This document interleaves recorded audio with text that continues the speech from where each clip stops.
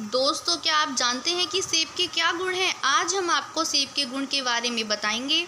दोस्तों, सेब खाने से इम्यून सिस्टम अच्छे से काम करता है। कोई भी रोग जल्दी से हमारे शरीर पर प्रभाव नहीं डालता। सेब खाने से चेहरे के काले धब्बे दूर होते हैं, चेहरे पर ग्लो आता है।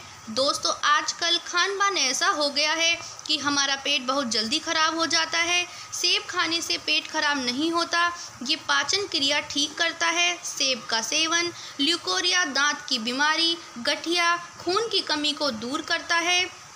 सेब चबाकर खाने से लार अधिक बनती है, जो मुँह की साफ़ सफ़ाई करने के अलावा बैक्टीरिया को पनपने से भी रोकती है, जिससे आपके दांत और मसूड़े स्वस्थ रहते हैं। इस तरह के हेल्थ टिप्स पाने के लिए हमारे चैनल को सब्सक्राइब करें लाइक करें और शेयर करें। Thank you